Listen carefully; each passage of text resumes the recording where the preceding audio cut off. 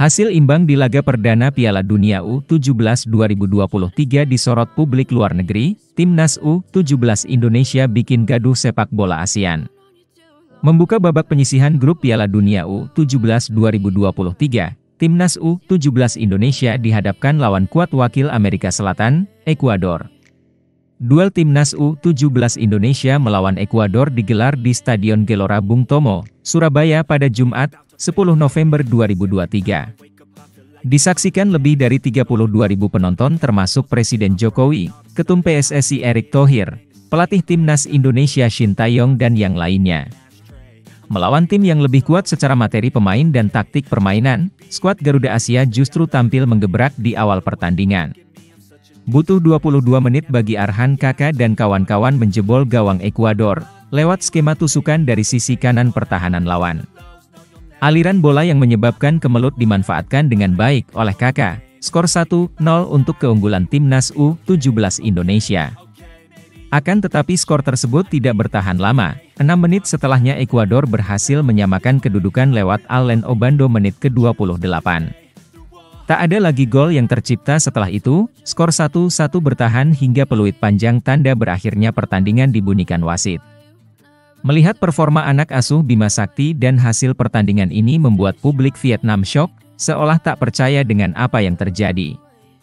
Menurut salah satu media lokal Vietnam, kesuksesan menahan imbang Ekuador di Piala Dunia U17 2023 membuat gaduh sepak bola ASEAN.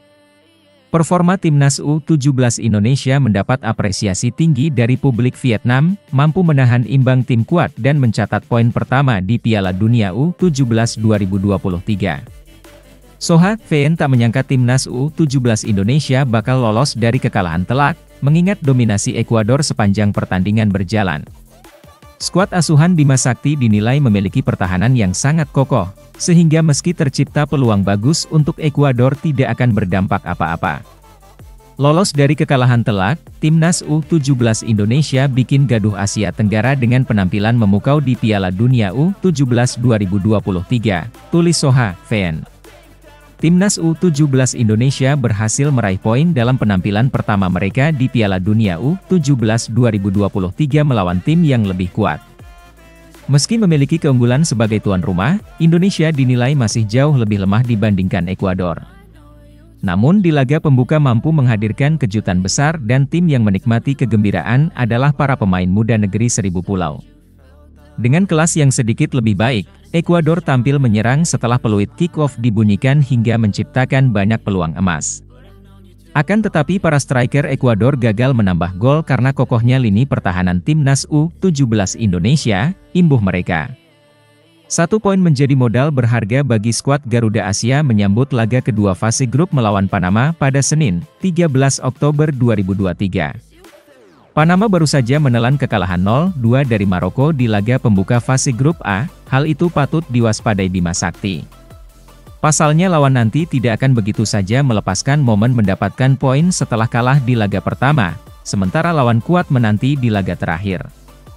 Itulah pembahasan Piala Dunia U17 2023 sekian dulu untuk video kali ini, jangan lupa untuk menekan tombol like dan subscribe jika kalian menikmati video ini, dan bagikan juga ke teman-teman kalian yang suka sepak bola. Sampai jumpa di video berikutnya, terima kasih dan salam olahraga.